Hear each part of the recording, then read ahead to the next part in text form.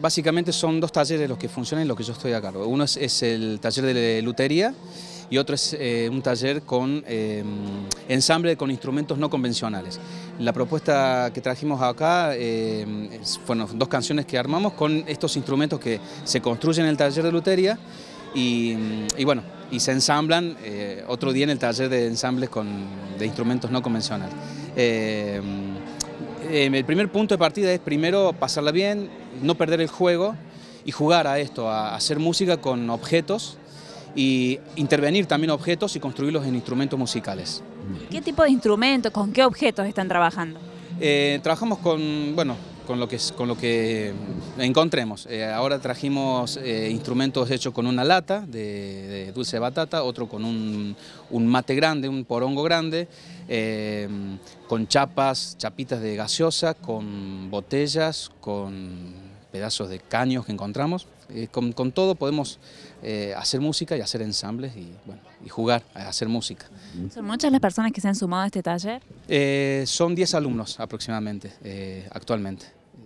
Todos participaron de esta intervención aquí en el comedor. Recordamos que estamos en el mes de contra el abuso y el maltrato de los adultos mayores. Sí, sí, participaron todos y siempre tratemos, tratamos de que participen todos. Esa es la idea, ¿no?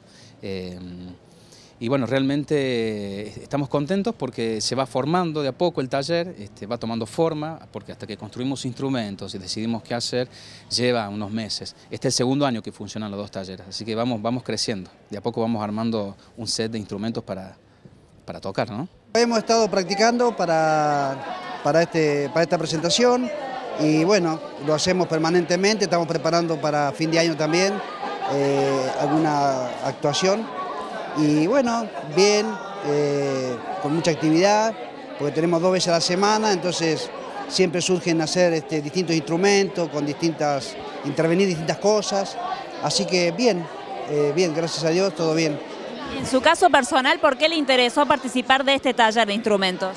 Porque es un taller muy particular, porque eh, es un taller inclusivo, o sea, es un taller inclusivo porque, por ejemplo, estoy yo eh, que soy el más joven del grupo, y está Luis, que tiene de 86 años. Entonces somos un grupo de distintas edades, este, entonces eh, es muy bueno, aparte es un taller distinto, son talleres distintos. Eh, está fuera de, toda cuestión este, que se puede considerar normal. Son talleres muy, muy particular. Entonces nos divertimos mucho, o sea, pasamos creo que las mejores cuatro horas de semana.